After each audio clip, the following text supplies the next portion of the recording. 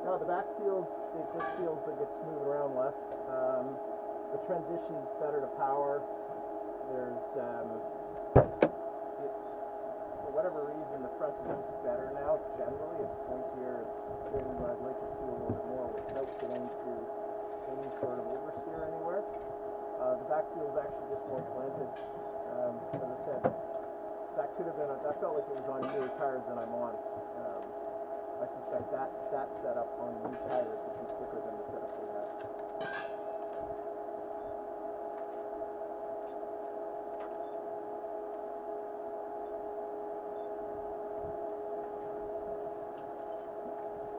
And it's interesting the entry to turn five over there. So Kind of showed the grip, pushing the tires.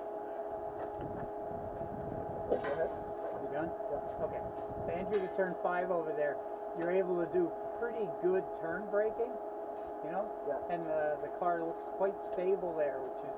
Uh, I always worry with this car with those big rear brakes that you might get some instability when you turn brake like that. But it looks like it settled down pretty good. Does it feel good going in there? Yeah, Into it the feels, left? it feels fine as long as you don't hit the brakes too hard. It's a very, it's a gentle, Right. like drive it out there and then just Right. gentle.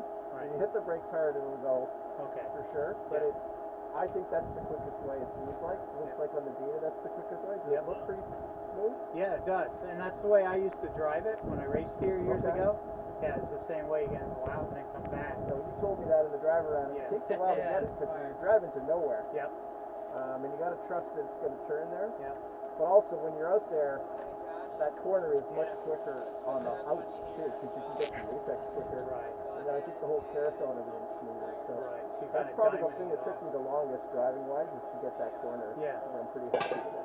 Okay, good. Looks okay though. Yeah, looks good. Nice and smooth.